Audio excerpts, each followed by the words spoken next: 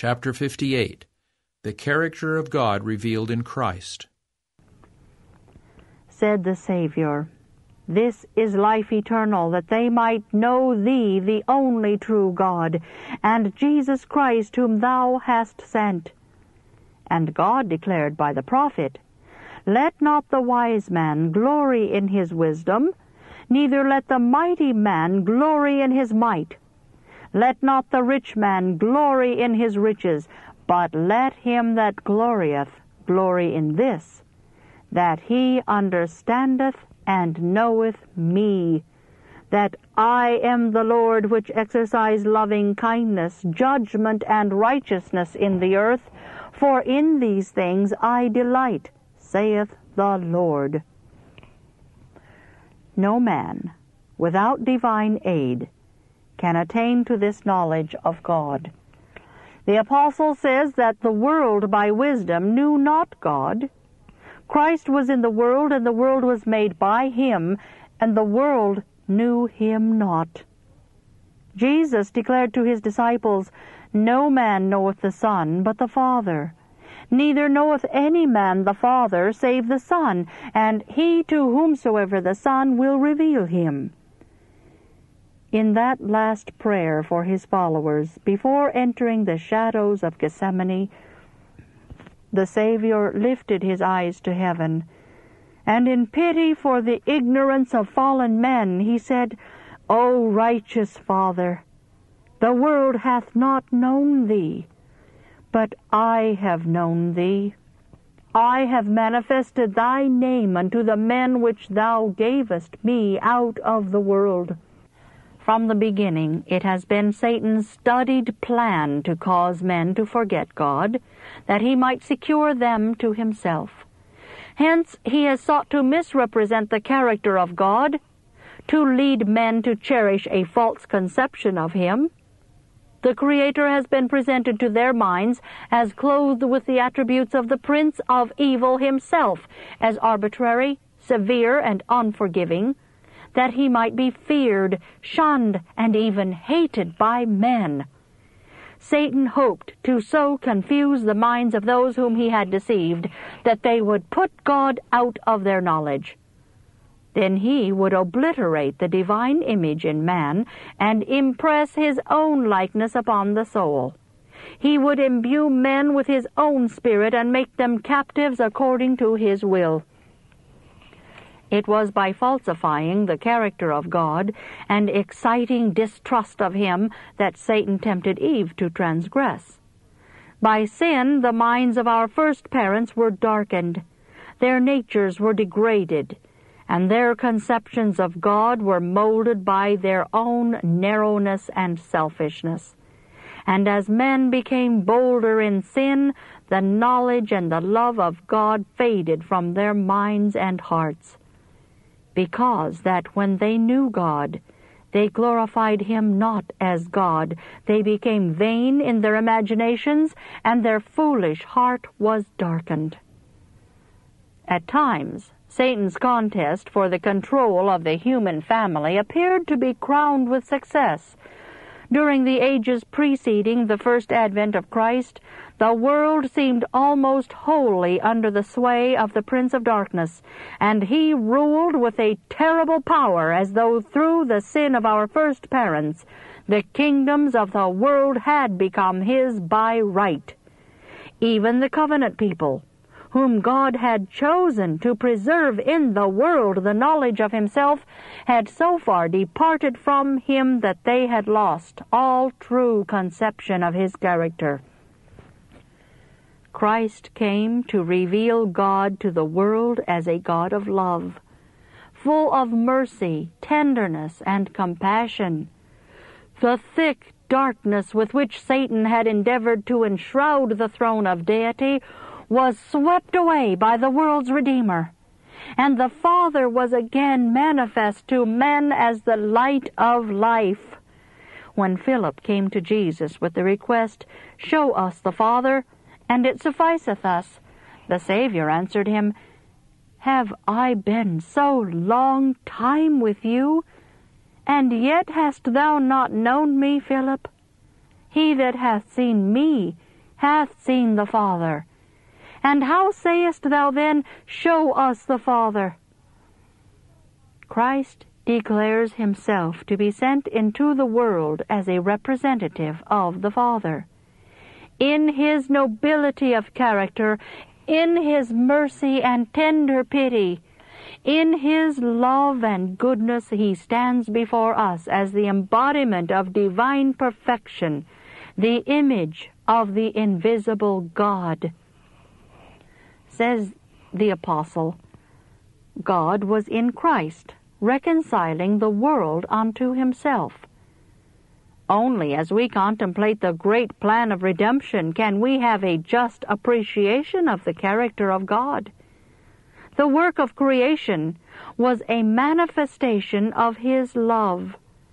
But the gift of God to save the guilty and ruined race alone reveals the infinite depths of divine tenderness and compassion. God so loved the world that he gave his only begotten Son, that whosoever believeth in him should not perish, but have everlasting life while the law of God is maintained and its justice vindicated, the sinner can be pardoned. The dearest gift that heaven itself had to bestow has been poured out, that God might be just and the justifier of him which believeth in Jesus. By that gift, men are uplifted from the ruin and degradation of sin to become children of God. Says Paul, Ye have received the Spirit of adoption, whereby we cry, Abba, Father. Brethren, with the beloved John, I call upon you to behold what manner of love the Father hath bestowed upon us, that we should be called the sons of God. What love what matchless love that sinners and aliens as we are, we may be brought back to God and adopted into His family.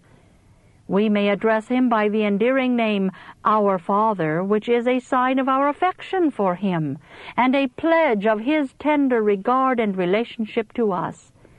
And the Son of God, beholding the heirs of grace, is not ashamed to call them brethren. They have even a more sacred relationship to God than have the angels who have never fallen. All the paternal love which has come down from generation to generation through the channel of human hearts, all the springs of tenderness which have opened in the souls of men are but a tiny rill to the boundless ocean when compared with the infinite, exhaustless love of God. Tongue cannot utter it. Pen cannot portray it. You may meditate upon it every day of your life. You may search the Scriptures diligently in order to understand it. You may summon every power and capability that God has given you in the endeavor to comprehend the love and compassion of the Heavenly Father, and yet there is an infinity beyond. You may study that love for ages, yet you can never fully comprehend the length and breadth, the depth and the height of the love of God in giving His Son to die for the world. Eternity itself can never fully reveal it.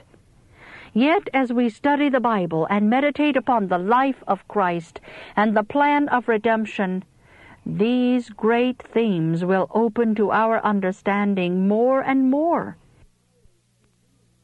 And it will be ours to realize the blessing which Paul desired for the Ephesian church when he prayed that the God of our Lord Jesus Christ, the Father of glory, may give unto you the spirit of wisdom and revelation in the knowledge of him, the eyes of your understanding being enlightened, that ye may know what is the hope of his calling, and what the riches of the glory of his inheritance in the saints, and what is the exceeding greatness of his power to usward who believe.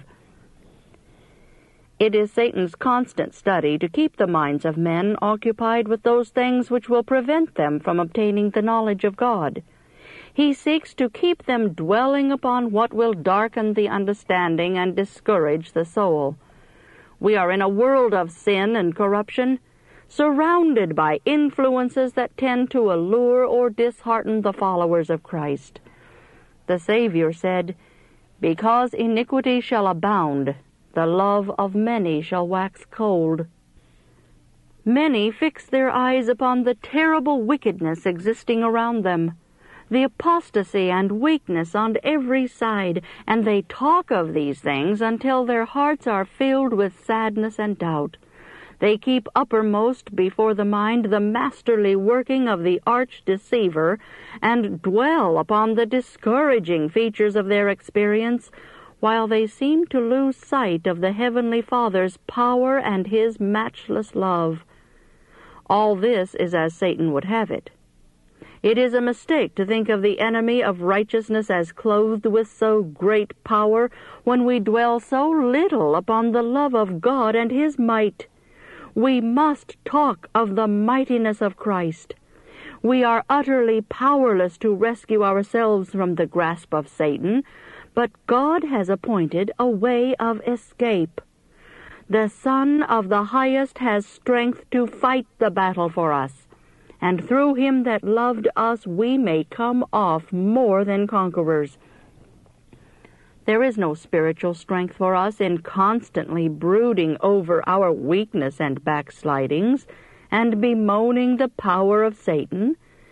This great truth must be established as a living principle in our minds and hearts, the efficacy of the offering made for us, that God can and does save to the uttermost all who come unto him complying with the conditions specified in his word. Our work is to place our will on the side of God's will. Then, through the blood of the atonement, we become partakers of the divine nature. Through Christ, we are children of God, and we have the assurance that God loves us even as He loved His Son. We are one with Jesus. We walk where Christ leads the way. He has power to dispel the dark shadows which Satan casts across our path, and in place of darkness and discouragement, the sunlight of His glory shines into our hearts. Our hope is to be constantly strengthened by the knowledge that Christ is our righteousness. Let our faith rest upon this foundation, for it will stand fast forever. Instead of dwelling upon the darkness of Satan and fearing his power, we should open our hearts to receive light from Christ and let it shine forth to the world, declaring that he is above all the power of Satan that his sustaining arm will support all who trust in him. Said Jesus, The Father himself loveth you. If our faith is fixed upon God, through Christ it will prove as an anchor of the soul, both sure and steadfast, and which entereth into that within the veil, whither the forerunner is for us entered. It is true that disappointments will come. Tribulation we must expect. But we are to commit everything, great and small, to God. He does not become perplexed by the multiplicity of our grievances, nor overpowered by the weight of our burdens. His watch care extends to every household and encircles every individual. He is concerned in all our business and our sorrows. He marks every tear. He is touched with the feeling of our infirmities. All the afflictions and trials that befall us here are permitted to work out His purposes of love toward us, that we might be partakers of His holiness, and thus become participants in that fullness of joy which is found in His presence. The God of this world hath blinded the minds of them which believe not, lest the light of the glorious gospel of Christ, who is the image of God, should shine unto them. But the Bible, in strongest terms, sets before us the importance of obtaining a knowledge of God. Says Peter, Grace and peace be multiplied unto you through the knowledge of God and of Jesus our Lord. His divine power hath given unto us all things that pertain unto life and godliness through the knowledge of him that hath called us to glory and virtue. And the Scripture bids us, Acquaint now thyself with him, and be at peace. God has commanded us, Be ye holy, for I am holy. And an inspired apostle declares that without holiness no man shall see the Lord. Holiness is agreement with God. By sin, the image of God in man has been marred and well nigh obliterated. It is the work of the gospel to restore that which has been lost. And we are to cooperate with the divine agency in this work. And how can we come into harmony with God? How shall we receive His likeness unless we obtain a knowledge of Him? It is this knowledge that Christ came into the world to reveal unto us. The meager views which so many have had of the exalted character and office of Christ have narrowed their religious experience and have greatly hindered their progress in the divine life personal religion among us as a people is at a low ebb. There is much form, much machinery, much tongue religion. But something deeper and more solid must be brought into our religious experience. With all our facilities, our publishing houses, our schools, our sanitariums, and many, many other advantages, we ought to be far in advance of our present position. It is the work of the Christian in this life to represent Christ to the world in life and character, unfolding the blessed Jesus. If God has given us light, it is that we may reveal it to others.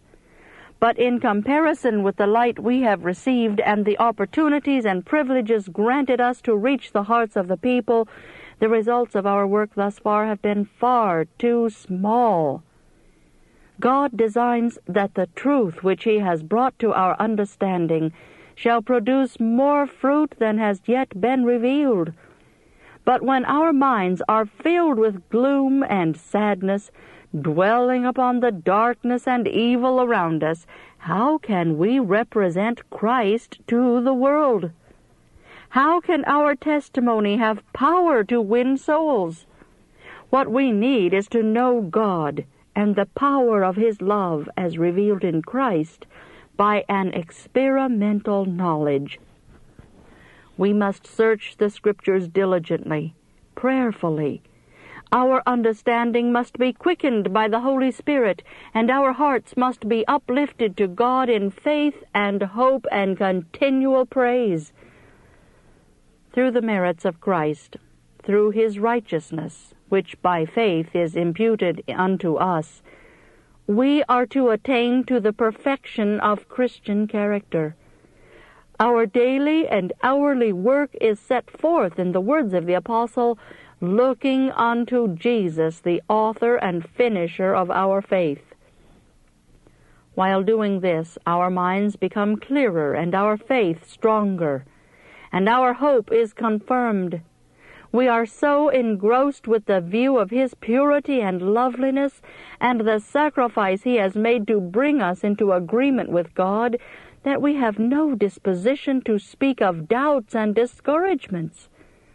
The manifestation of God's love, His mercy, and His goodness, and the work of the Holy Spirit upon the heart to enlighten and renew it, place us, through faith, in so close connection with Christ that having a clear conception of his character, we are able to discern the masterly deceptions of Satan.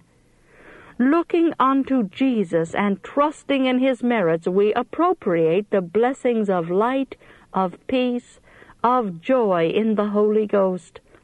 And in view of the great things which Christ has done for us, we are ready to exclaim, Behold, what manner of love the Father hath bestowed upon us, that we should be called the sons of God. Brethren and sisters, it is by beholding that we become changed. By dwelling upon the love of God and our Savior, by contemplating the perfection of the divine character and claiming the righteousness of Christ as ours by faith, we are to be transformed into the same image. Then let us not gather together all the unpleasant pictures, the iniquities and corruptions and disappointments, the evidences of Satan's power, to hang in the halls of our memory, to talk over and mourn over until our souls are filled with discouragement. A discouraged soul is a body of darkness, not only failing himself to receive the light of God, but shutting it away from others. Satan loves to see the effect of the pictures of his triumphs, making human beings faithless and disheartened. There are, thank God, brighter and more cheering pictures which the Lord has presented to us. Let us group together the blessed assurances of His love as precious treasures, that we may look upon them continually. The Son of God leaving His Father's throne, clothing His divinity with humanity that He might rescue man from the power of Satan, His triumph in our behalf, opening heaven to man, revealing to human vision the presence chamber where deity unveils his glory. The fallen race, uplifted from the pit of ruin into which sin has plunged them, and brought them again into connection with the infinite God, and having endured the divine test through faith in our Redeemer, clothed in the righteousness of Christ and exalted to his throne, these are the pictures with which God bids us gladden the chambers of the soul. And while we look not at the things which are seen, but at the things which are not seen, we shall prove it true that in our light affliction, which is but for a moment, worketh for us a far more exceeding and eternal weight of glory. In heaven, God is all in all. There holiness reigns supreme. There is nothing to mar the perfect harmony with God. If we are indeed journeying thither, the Spirit of heaven will dwell in our hearts here. But if we find no pleasure now in the contemplation of heavenly things, if we have no interest in seeking the knowledge of God, no delight in beholding the character of Christ, if holiness has no attractions for us, then we may be sure that our hope of heaven is vain. Perfect conformity to the will of God is the high aim to be constantly before the Christian. He will love to talk of God, of Jesus, of the home of bliss and purity which Christ has prepared for them that love him. The contemplation of these themes, when the soul feasts upon the blessed assurances of God, the apostle represents as tasting the powers of the world to come.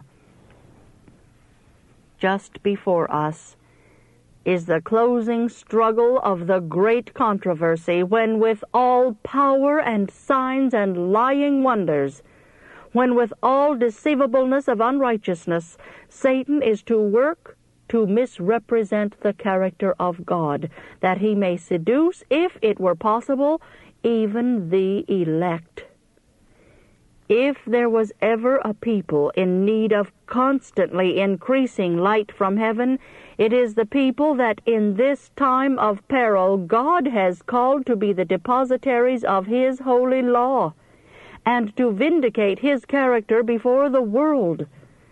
Those to whom has been committed a trust so sacred must be spiritualized, elevated, vitalized by the truths they profess to believe. Never did the church more sorely need, and never was God more solicitous than she should enjoy.